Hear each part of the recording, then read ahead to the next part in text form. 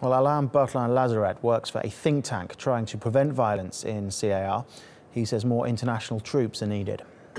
It's, it's a country which covers like 623,000 uh, square kilometers, bigger than like like like Europe, uh, like France and Belgium together. So 20, 12,000 people, troops, UN troops, to cover this large uh, country with uh, different places where uh, crises can just spark up at almost instantly at the same day or uh, here today and 200 kilometers further tomorrow it is not easy. So they, they, they cannot. 2,000, uh, 12,000 troops cannot stop the conflict throughout the country uh, right now. It's, it's quite difficult. It's a big task for them. What needs to be done is to maybe to have more troops and give them more, more means or equipments and then making the mandate very clear so that they can step in and protect civilians while they are being killed, either by Seleka or by all the militias, the different militias in the country.